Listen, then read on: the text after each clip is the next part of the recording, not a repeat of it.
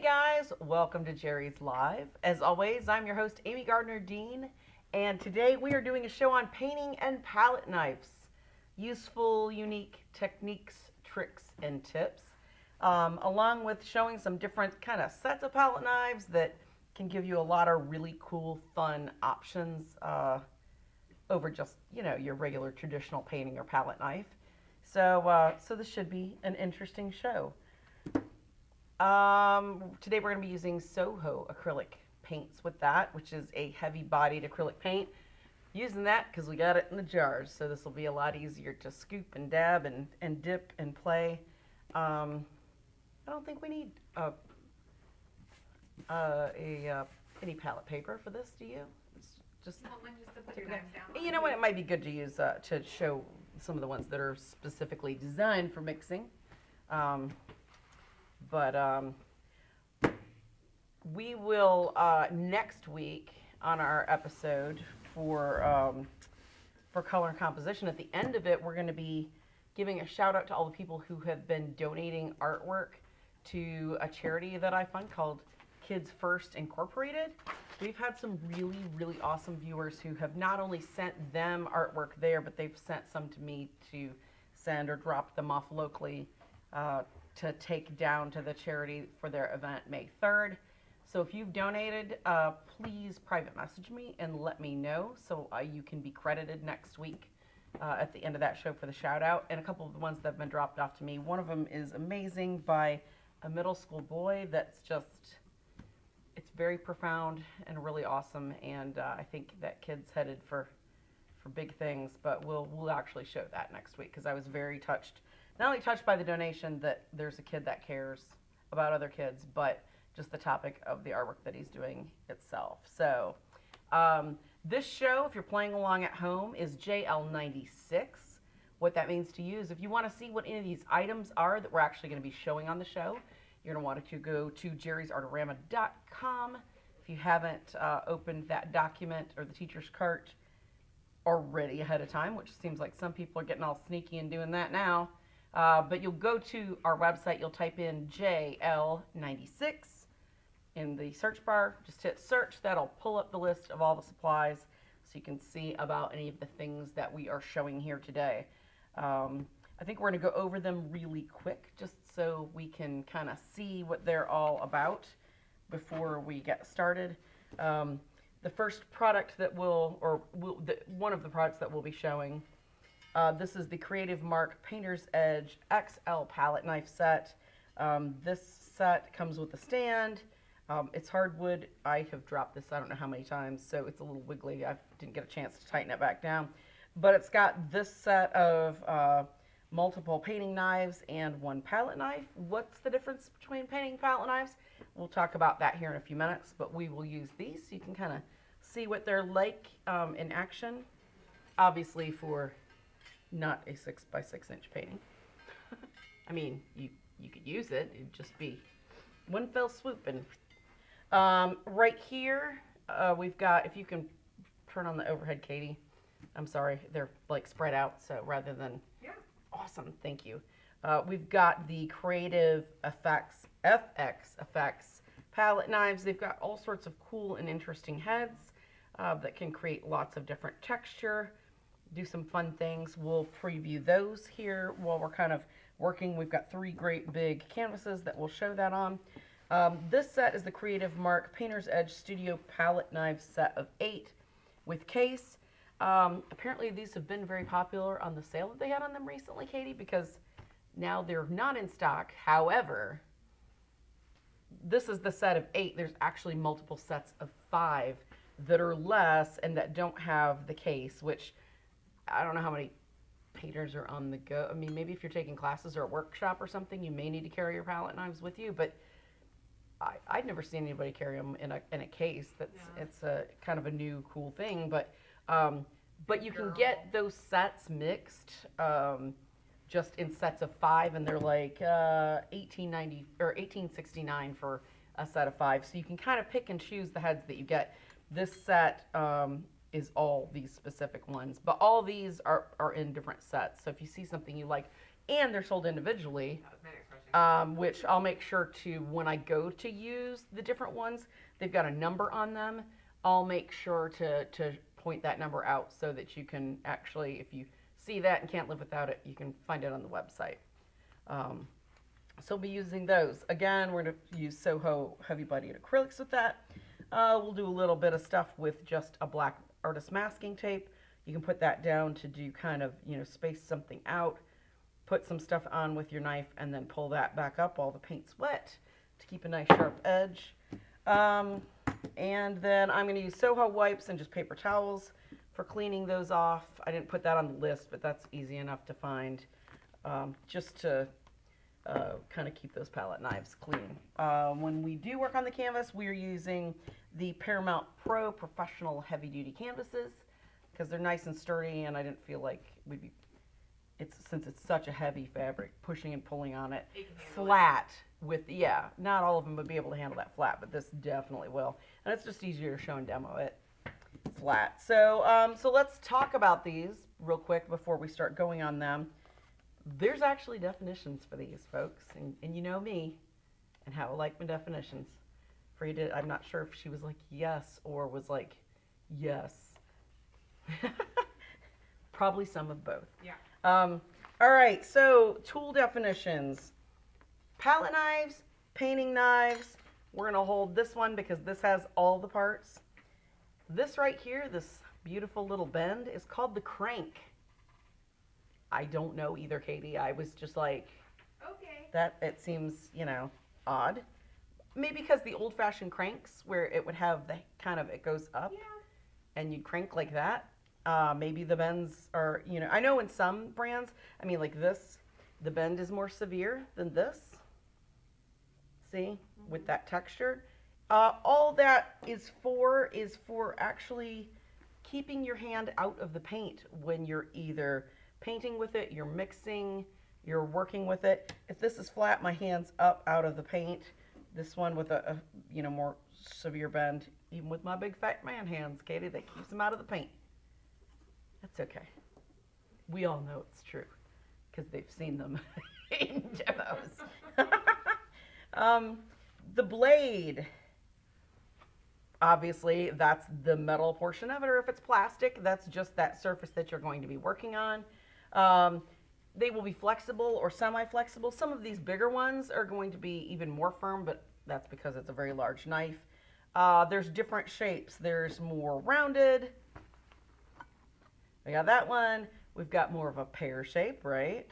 Uh, there are diamond shapes like this one, uh, trowels, etc. ad infinitum. There's all sorts of different shapes. If, if they could come up with something creative that makes it so you can lay down the paint well or mix with it, they're probably going to have a shape for it. And I know with the, I don't even know how many, it's like 25 or 30 different ones of the creative mark. It's, Oh, you don't, There's a drawer full. yes, you don't, you, there, it, other than making your own really strange one, it's, a, and, and these, go take that and go beyond it. So it's, it's, there should be a shape that'll work for what you specifically are looking for. Um, they're called palette knives, they're called painting knives. They are not designed to cut, though. You can use them for scraping. Not to say that Katie and I both haven't been guilty of opening some boxes around here with them, right? Or getting a little palette knife cut when I reached in a drawer and I wasn't expecting Yes, one. I, I don't know how many times I've done Yeah. that. So um, we'll see if we can get through this episode without me needing a bandage. Heck, I've cut myself on pencil sharpeners, Yeah. right, in videos, so it's entirely possible. Um, why use knives for painting uh, instead of brushes? I mean, I, up, not I guess up until I've started doing the show, I would have said I would only use palette knives for mixing. I would not use them for painting. After doing a lot of different interesting things on the show through the couple years we've done it, I absolutely now more see the allure and actually have used it to spread some paint. so much easier to clean. That's very. That's that was going to be my next point. Is if you're if you're kind of crazy about the brush hygiene, as it were, of your painting brushes, these things will make you so happy because it's either clean or it's not. Um, think about brushes. Even if you've got something that's super soft and super fine, unless you're glazing, most strokes with any type of brushes, stiff or soft, tend to leave a brush stroke, especially if you're working in heavy body paints, right? The, the fluid body, that's not going to be a problem. But heavy body paints always leave that brush stroke. And yes, you may use a filbert or flat or bright or round, but you're still going to see some of that kind of bristle pattern in there. That can start getting really boring in a painting, texture wise, especially if you're working thicker. It, it just starts, um, sometimes it can kind of bore the viewer, I guess. It'd be a good way of saying it. So, uh, this is a great way to add impasto texture without that brushwork um, and actually easily kind of scrape back and remove, almost sculpt paint in areas that you can do with the brush up to a point, but it's still going to leave that texture, right? Um, so with these, you can have the smooth flat ones, or you can have the crazy texture that's not going to look at all like a brush. So it gives you so many different types of options. Um, painting knife, palette knife. What is the difference? Now, with these, we say that these are palette knives. These are actually some are painting knives, some are palette knives. Amanda, you want to take a guess as to which is which? No. I will surely get it wrong. Amanda, Amanda has chosen not to participate. YouTube viewers, now you can harass her. No, I'm just kidding. Okay. Facebook. Oh, that's right. That's right. Well, you know what? They can harass her remotely, I guess, Yeah. even. Um, okay, so palette knives. When we've got that bend, that crank, think of it this way. If there's a crank, it's a painting knife. If there is no crank and it's flat, it is a palette knife. What are palette knives used for? Said the opposite. What are palette knives used for? Scraping your palette. scraping your palette or mixing color. Okay? You won't see a whole lot of crazy shapes in a palette knife because you need to that short motion of the pushing. Okay? When you're and scrape smear, scrape, smear as you're, and this is my favorite one and Mikey's too, which it looks like this updated version is more rounded and it makes me sad. See how it's like a little round there compared to the ones we've had in the past? We've had some harder ones in the past. This one can mix a lot, okay? So easy to scrape. This one, especially, super effective. This is my palette knife cleaner. I put some of the lavender essence down, let it sit a little while, and go, pulls it right off even really dried oil paint off a wood palette, which is amazingly easy to do with that. So, so of this group, knowing that, which one would be the palette knife? The only one that doesn't have a crank. It's the Mac Daddy version. That looks um dangerous. It's it's a little sharp and I like it. it it's like Rowing I mean knives. that knives. that listen to that satisfying sound. Yeah, you could Do some damage. you wouldn't need a cleaver if somebody broke into the house. Just yeah. So anyway, so that's kind of the easy way to figure that. So just remember, if there's a crank, it's for painting. If there's not, it's a palette knife. Technicalities. All right. So, um, the painting knives are, or the palette knives are going to be a very flexible blade, by the way.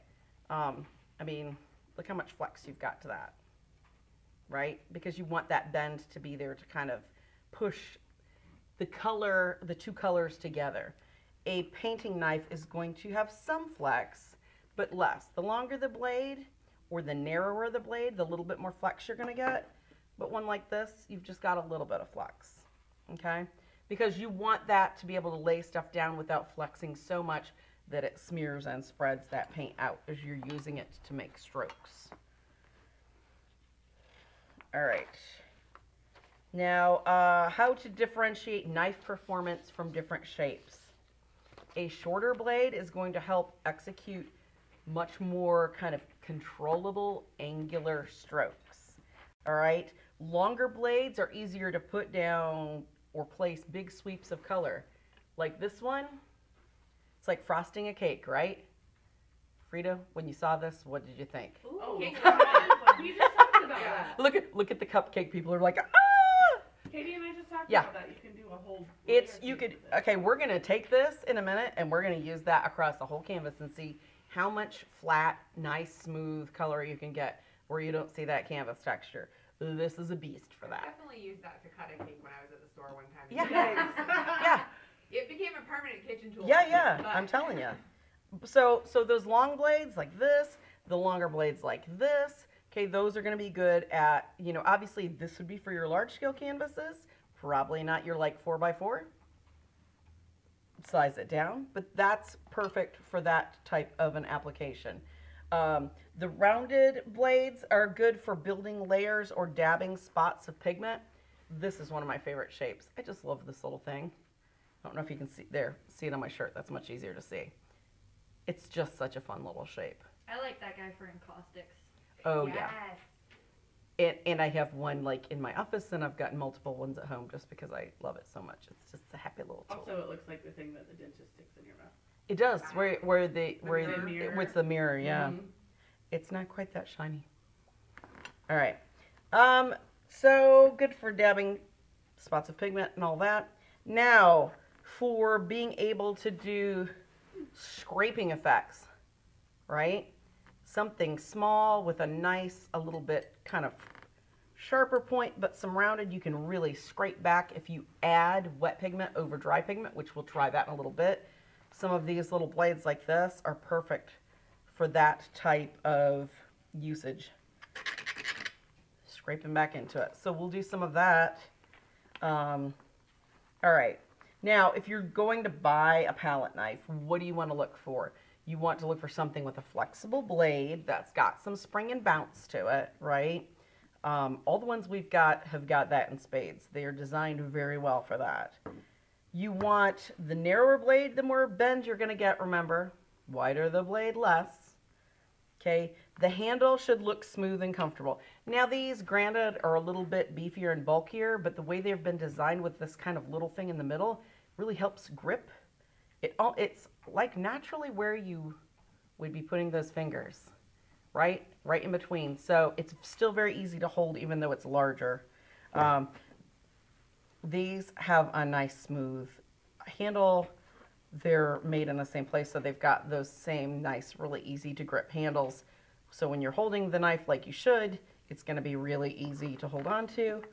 Um, you want to look for a firm attachment to the handle. I've seen places where it just goes into the handle. There's no kind of that little, almost a ferrule.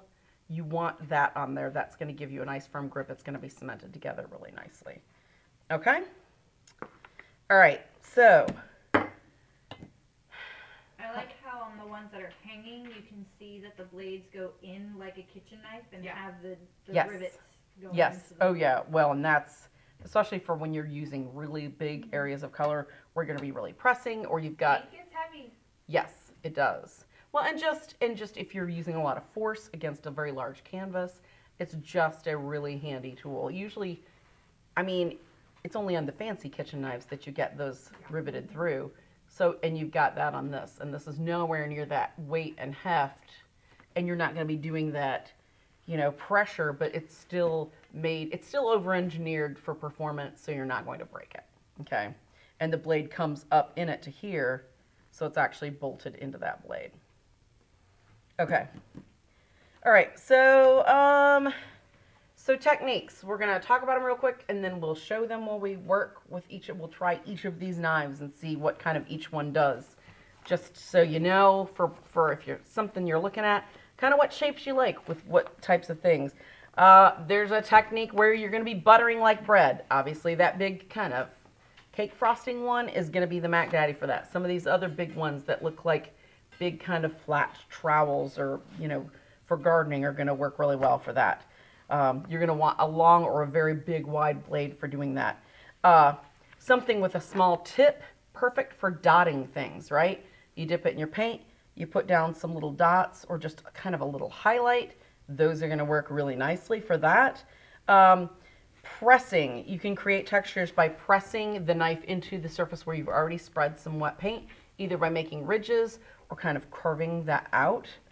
Um, edge for fine lines, you can take any of the ones that have an edge, and your palette knives are really still handy for that. Even though they're flat, right, where for mixing they're going to be fine because your hand's up out of the way, but they don't have that crank. If you turn it outside and you can pull it, it'll make some nice clean lines. Um, and even for doing more of the sgraffito techniques where you're going to be scratching in, those would work well as well. For those of our viewers who aren't familiar with the term sgraffito, you want to define that real quick? It means scratching or scraping to reveal layers of an underpainting. Where you've got one color already on there, we'll show that in just a little bit. But where you actually you apply your paint and then you scratch back into it to let that kind of be revealed and kind of peek through. All right. Um, real quick, how to clean palette knives. It's always better when they're wet. I, I don't know how many people's studios I go into and you see the stuff just caked on where it, that stuff can pick up, especially if you're doing oil and you put that back into a little bit of solvent or just there's enough solvent in kind of what you're mixing together where it wets it enough and it's not completely oxidized, it can transfer color. You don't want that to happen. Um, and not to mention that it does build up texture. When I inherited some from my grandmother, I left them as is and decided not to use them because they were very pretty, but they were not functional unless I scraped all that off. So you don't want that texture from the dried kind of lumpy paint on there because it's not going to give you kind of that clean stroke that you might be looking for. Uh, wipe it off with a cloth or something like your Soho wipes first, then give it one more wipe with a paper towel or even like a soft cloth like old t-shirts. That will just ensure that clean is ultra clean before you stick it back in the paint. All right, with dried paint, you can use a razor blade on its side to kind of scrape it off. You can even use your handy dandy, your palette knife, right? That will work at scraping that back off as well. Um, and you can even clean it kind of any of the little kind of residual stuff with solvent on a rag. Um, remember, cleaning as you work requires less elbow grease later. Right? Okay. So let's take some of these knives and let's have some fun. All right. I'm going to move these out of the way. Uh, over to here, and then we'll kind of go through them. And keep them in order. So as I go back through, people know which is which for sure. All right. We are going to start with the great big knives because I think that would be more fun. What do you think, Katie? Sounds good to me. Okay, so we're going to go with just a plain canvas for this. All right. Now I have pre kind of opened these jars so we'd just be able to That was smart. well just because sometimes if it's acrylic and these have been around for forever they're still nice and fresh inside katie i opened them up and was like fresh paint I like those jars. I do too. Fresh paint. All right. Oh, it smells so good. Yes, I, I haven't painted acrylic in a while, so it's Oh, no. that familiar smell of home studio. Can you talk about why some of the paints are good? Just talk about them. Somebody wants to know, like, About the paint. They're the they're a they're a very good value. Okay, they're kind of a great um, kind of artist grade acrylic that is going to have a little less saturation of pigment over some of like the really expensive brands. Um, but it's got great resin, so it produces a really nice shine when it's dry. Uh, it's got a great heavy body, more like the golden heavy body and stuff like that, but it's at an affordable price. Now, they don't have cadmiums, cobalts, any of the stuff that's in it that tends to make the paint more expensive. That's why they can do it at a lower price because they've taken out all that. Anytime you've got professional quality paints or higher pigment loads where you're trying to keep it still a value for something, you're going to rob from Peter to pay Paul as a manufacturer when you price it. Meaning, if it's a one price only, that means the more expensive pigments, the cost is kind of being absorbed by the cheaper ones, right? If that makes any sense. So with with this, it's not they take out all those higher end pigments, so you don't have to deal with it. So and just watch and see. And we've done some acrylics episodes. If um, at the top of this episode there should be a pin that will take you to the document that's got all of our episodes that we've done. We've done multiple episodes on acrylic.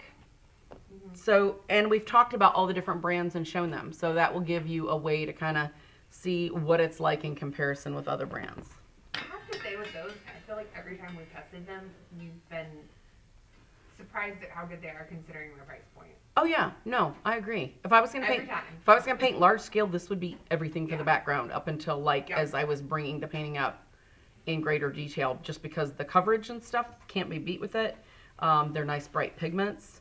Um, they may not be as um, they might tend to be a little more semi-transparent than maybe you know something that I was going to use that was a professional quality one. But that's why I would use that as the background and then just come back over it with a little bit of the other thing because Yeah. that saves money, right? And they dried really well. Right. They dry well. They're made out of very quality resins and stuff like that. So, all right. So let's try the big cake spreader first.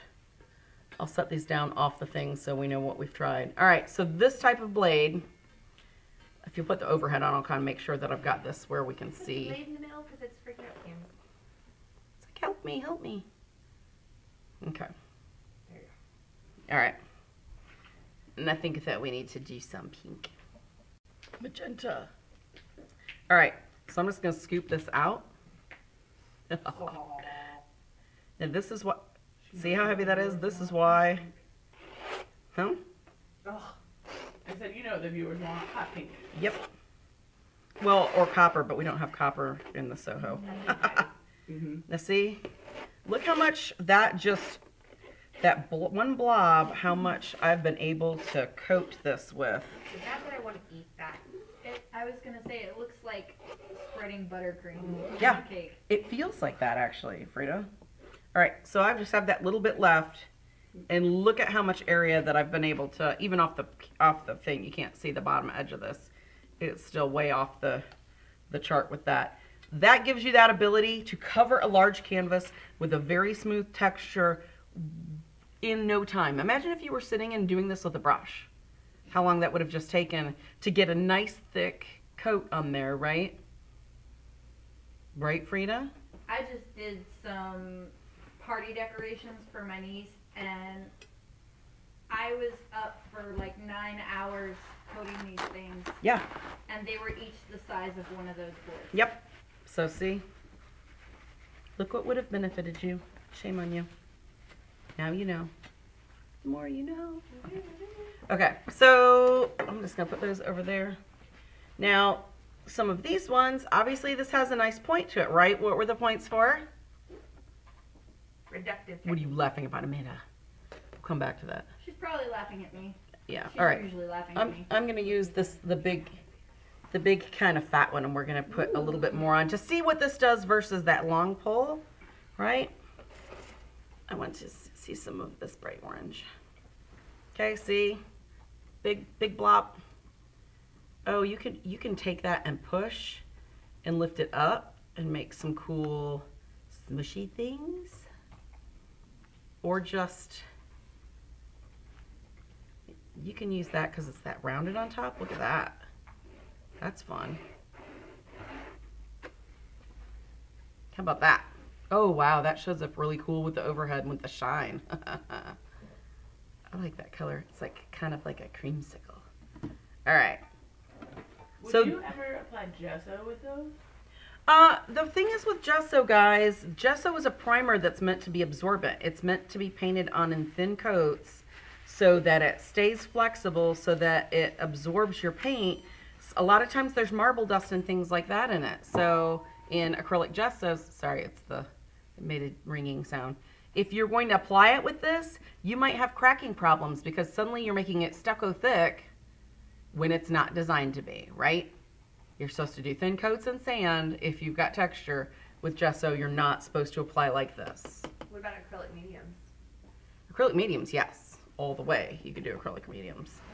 All right, so let's see. This one has a fun little tooth. Let's put something over the pink and pull it across.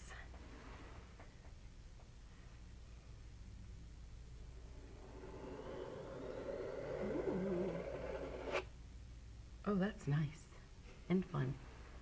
And this is just straight out of the jar, right? Straight out of the jar. Yep. See how that has like little little teeth marks? That's pretty fun.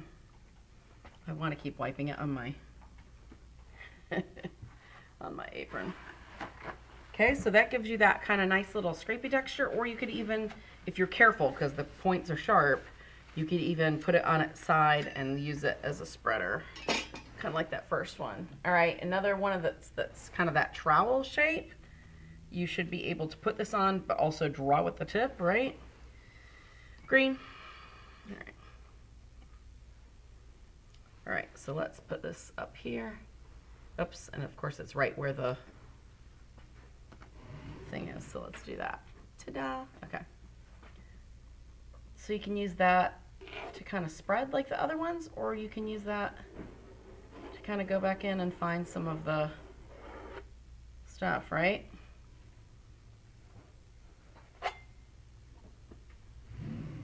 I hope they can hear the noises. I hope so too. Can they? Ask them if they can. It's very, sounds like a sword fight. Shing, shing. All right. Then we've got this one, which clearly is used for mixing. So if I took this, oh wow, that's cool. Look how the color stuck to the bottom. Ooh. So you could use that for scraping back to something where whatever color is in this gesso, see how this is absorbent and it's absorbed that pigment and stuck on there even though I'm scraping it?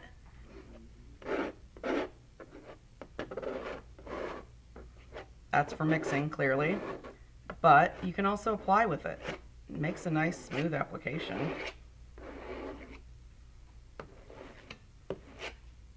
Or you can take it and pull back through it if you want.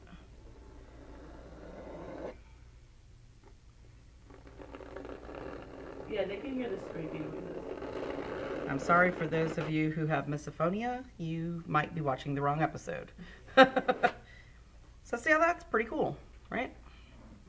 All right, so we got the one left that's good for kind of using the points.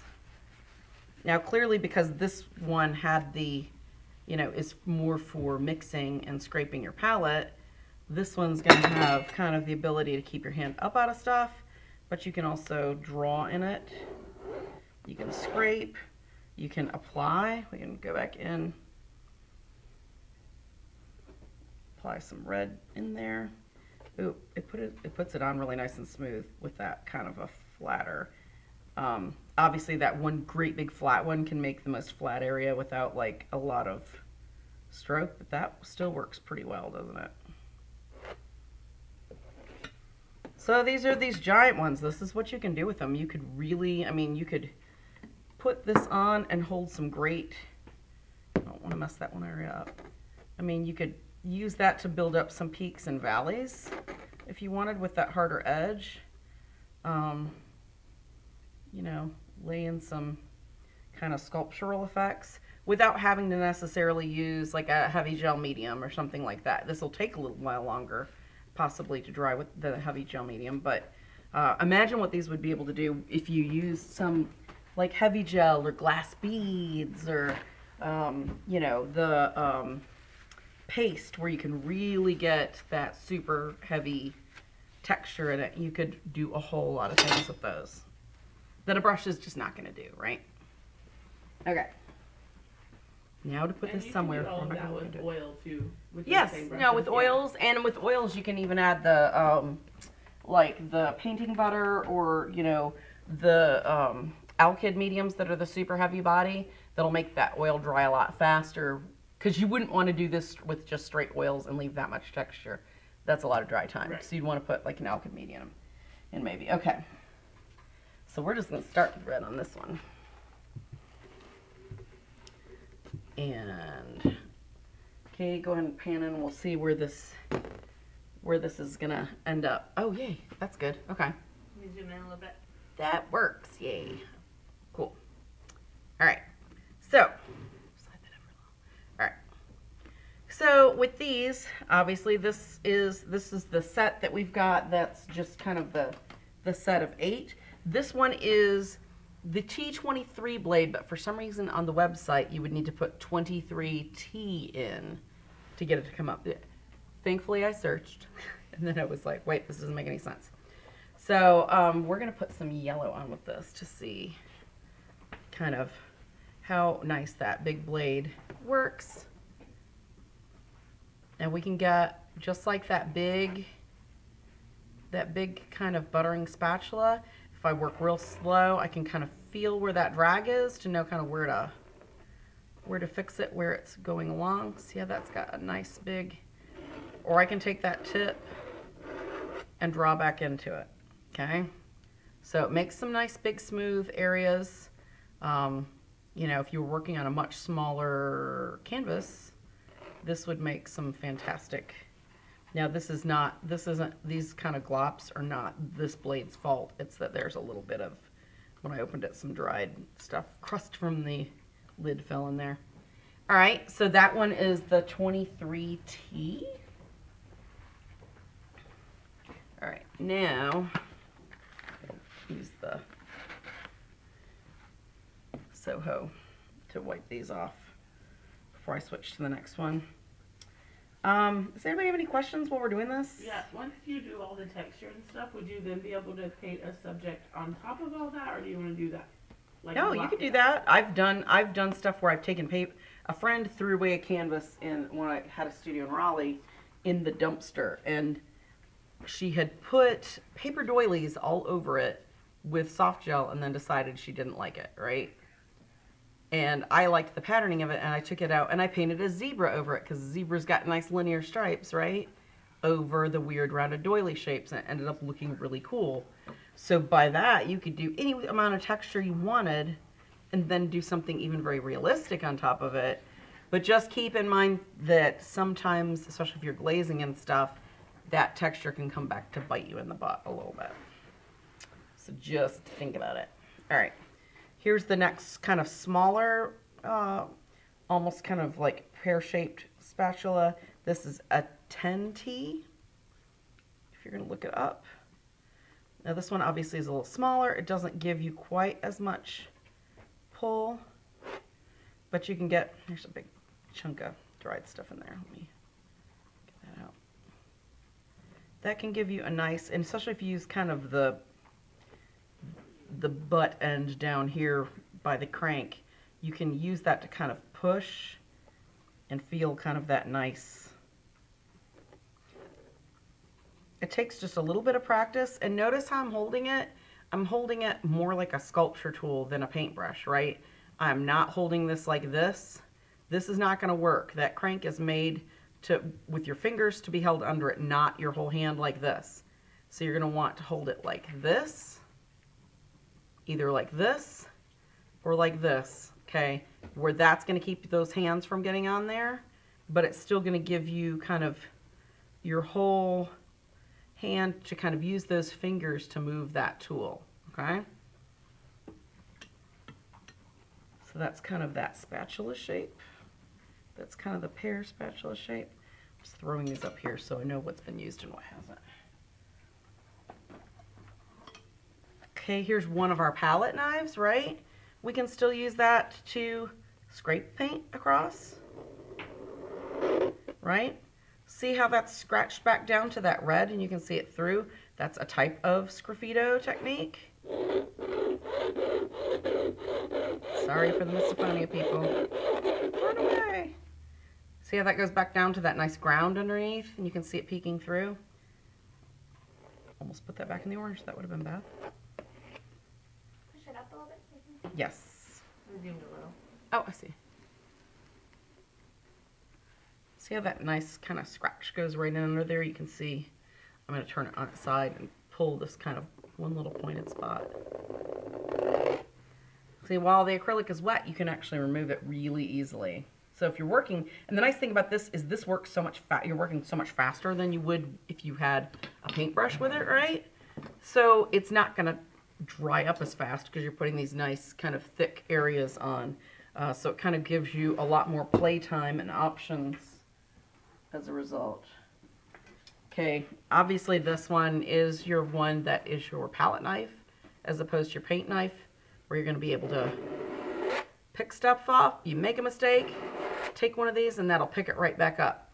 Obviously if I turn my hand like this, I'm not going to have a lot of help, right? Because that's going to get all gloppy. So this probably would be better for either having your hand up at an angle, maybe making some texture, running it through.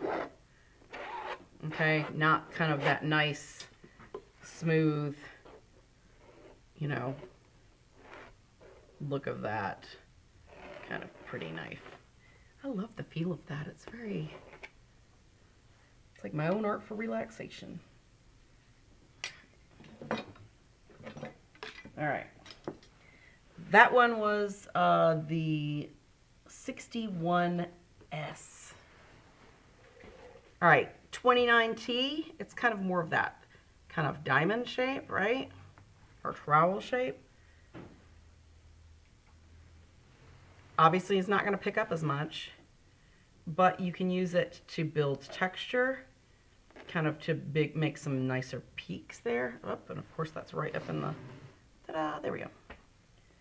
Would you say that the metal knives are better than the plastic ones? The plastic ones, um, depending on the brand and, and the make of the plastic, are not going to give you as much flex. And it's kind of like eating with a plastic fork as opposed to a metal fork. The metal fork, it's not bending and twisting and moving all around like a plastic fork. This is still going to give you nice bend and flex, but you can control it much easier, if that makes any sense, right? Bend and flex, but much more controllable. I don't like plastic knife, uh, painting knives other than for just mixing paint because even then I don't feel like I'm really with each kind of push as I pick up and mix paint like that you can really get up under there and mix it well enough. So see the trowel can you can push you can make you know use it kind of more of once you've got that body on you can kind of push it around and direct it because you've got those nice edges and if you want it to be really flat and just kind of place some average color on there.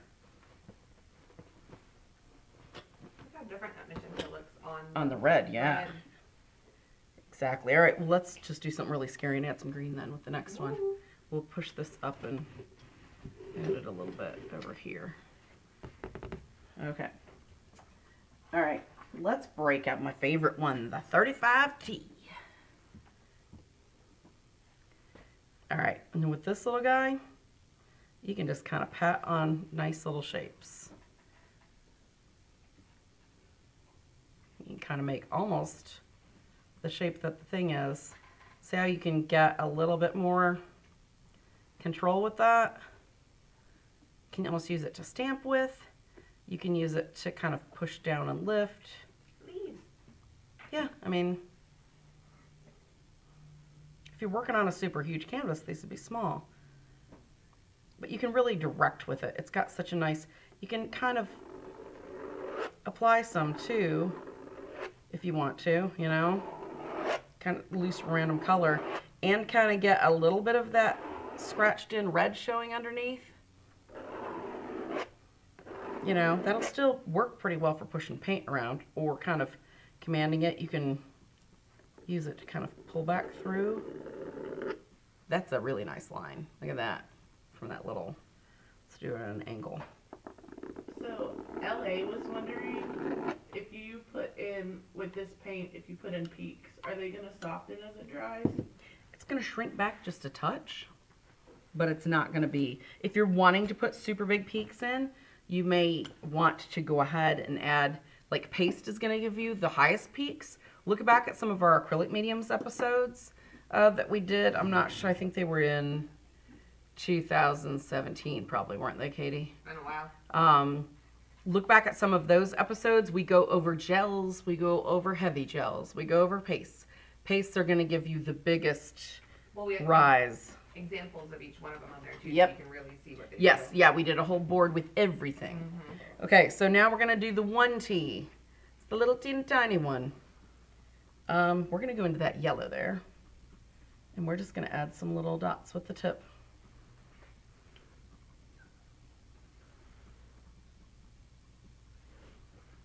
See the little tiny dot?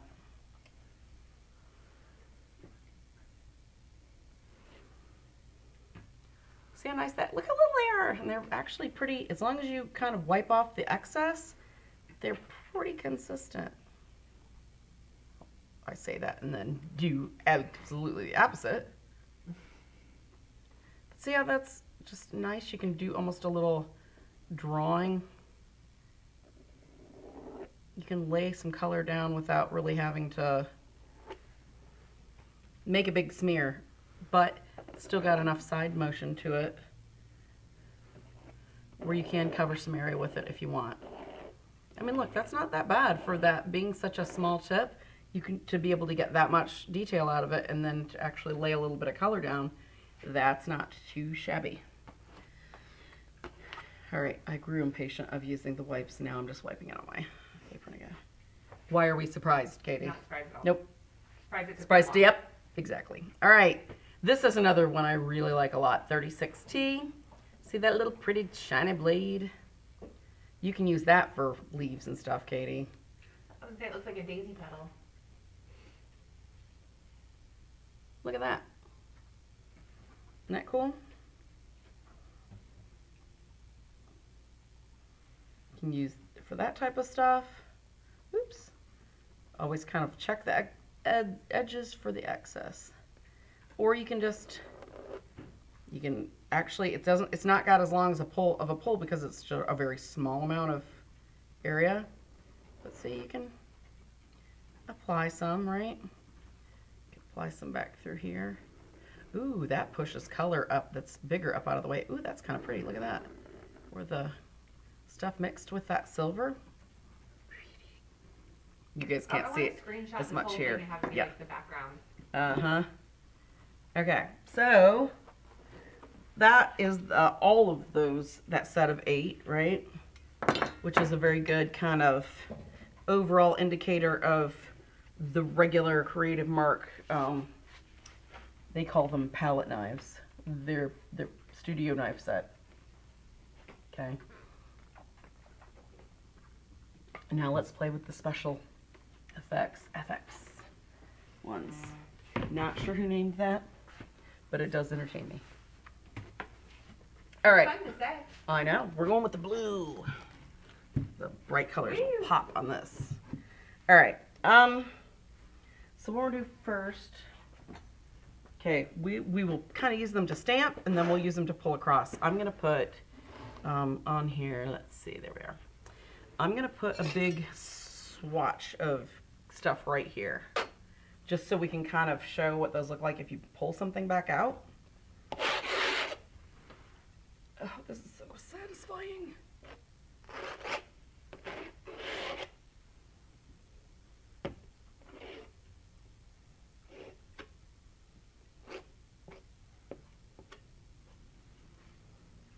Do you think the smaller ones give you better control? They do, um, if you're wanting to do smaller areas, but if you're wanting to cover a lot of space, it's not, it's like, these aren't, these are like, um, like any tool that you've got, like, for your house, right? Some screwdrivers are not meant, just because it's a screwdriver, doesn't mean it's the right screwdriver for your application. Does that make sense? It may not even fit the right head. It's kind of the same with this, with these kind of tools. Um, some of them can kind of do a lot of things well, and some of them are a little bit more specialty kind of oriented. All right. Like obviously, this is the Mac Daddy for this. All right. So- so, that covers. Mm-hmm. It looks it look it looks very lavendery on my screen. I like that. I think it's just my screen, but I'm fine with that. All right.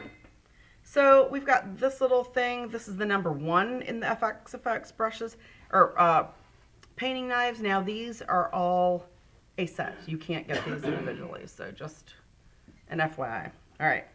So I'm gonna do. Let's see. Let's do some orange with this one. So you can lay it down.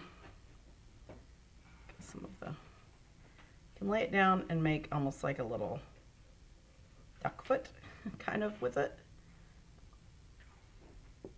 It's easier to put. Let me put some on a palette Duck feet. and kind of have it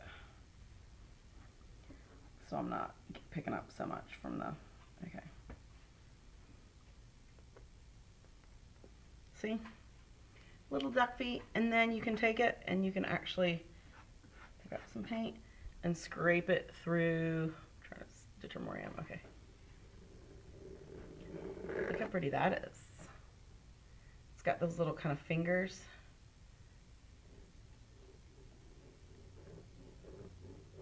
The more I push down, the more of that blue you can see. And then I can use that to pull that onto there. So that's got kind of a nice little kind of textured effect that you can make more of an organic shape with or just kind of a nice random pull with even texture. Uh, the number two, it's flat and it's got kind of these little fingers in it. Let's try silver with it. Move these other knives because I'm going to have stuff all over. Okay, so as a knife itself, it'll lay down a little print if you get it on there enough. I apparently did not have it on the whole knife. Almost like a triangle. Or you can pull like this. See how you can kind of see that the fingers in between? Oops, I need to move that up. If you move it right to the center, I can zoom a little bit more. Okay, hold on.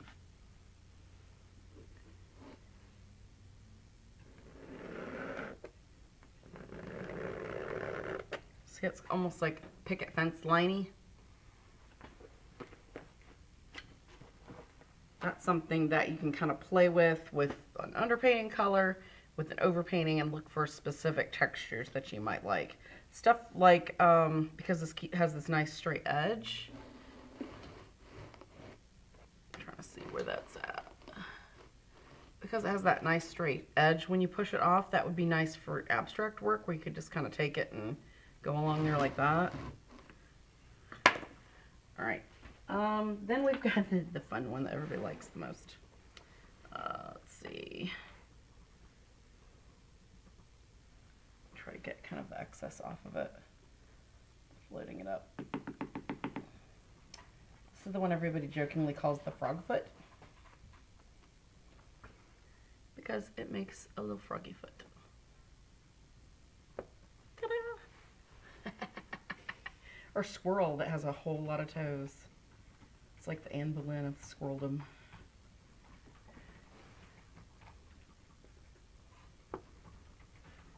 See if you load it real careful, you can get that nice, make it look like it's walking right off. Or you can use it and actually get a really interesting kind of pull down. Or if you zoom back out a little bit, Katie, I'll pull it across the pink.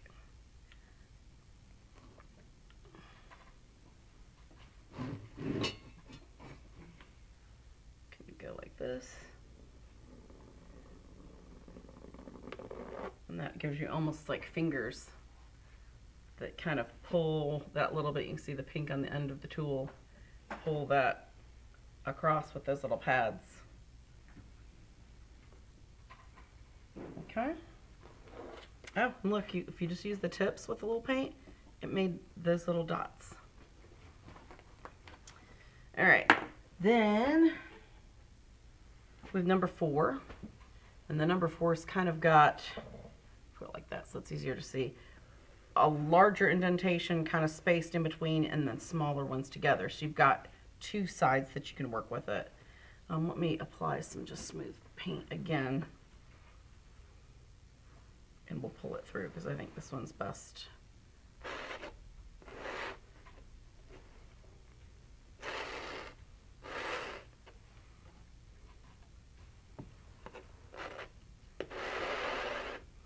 Probably easier to see on camera with that kind of the negative being pulled across.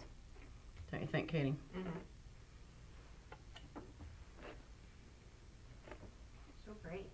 Okay. I'm starting to have tools everywhere.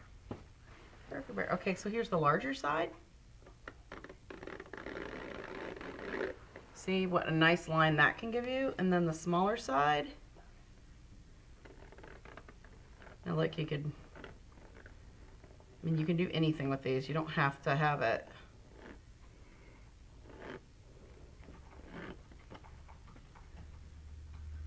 You know, it doesn't have to be straight. It can be edged. You can just use the tip on this one to draw across. That gives you kind of a really nice point. Um, then there is the next kind of size up with the number five that gives you a really much wider swath than these. You know, you could do across. You could put a whole bunch of really heavy duty gel or something on this and then actually push it and make waves where it actually looks like waves. You know, this stuff is pretty endless of what you could do with it. So that one's the number five. Can everybody see those pretty easily? Are they, is it just more ooh, ah, and popcorn time? Uh-huh. Okay. Because it just seems so quiet. Other than me with the occasional shing, shing, shing. Um, I like this one because you can use it where you can put down your kind of texture on one side. This is the number six. You can actually apply texture with that on there. And it'll kind of squeeze it out in between. Or it's got a smooth side where you can cut back into it and lift. Boop. Uh-oh, Katie, we're gonna need new canvas. I just blopped it. New canvas? I blopped it. Oh. Joking. Yeah, I know. I'm more like, look, it took that long to happen. Just wipe it on your apron. It's like it's way over there. It gives a character. All right. So that's the number six. Number seven. These ones are really cool. I'm just going to put a big blob out and then I'm going to kind of pull through them. Oh, that's blue. Okay, we're going to do that and we'll make it green. Because guess what, Amy? It's blue. I'm getting so excited. I just want to use all the colors. All right. So this is the number seven. See how it's got that cool shape?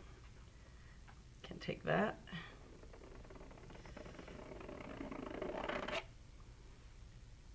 Got made the two big thick lines with it. That's pretty cool.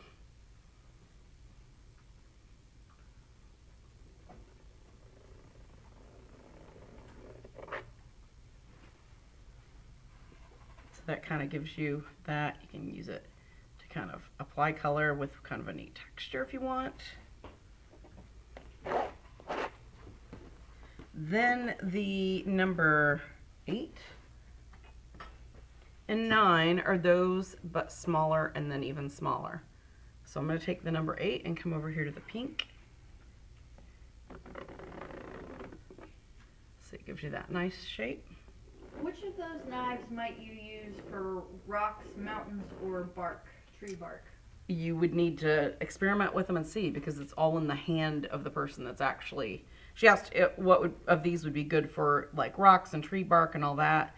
The nice thing is this set, it's it comes as a set, so you're gonna get all of them anyway. I mean, you just are gonna need to like play and stamp and experiment and kind of see what's gonna work best for your needs. I might be more heavy-handed than the viewer with the same tool, and they might be able to get a completely different look out of it. So it's just it's hard to know without, you know. Okay, so this is the last one, the number nine. See how that's got a smaller, That's cool. those lines together?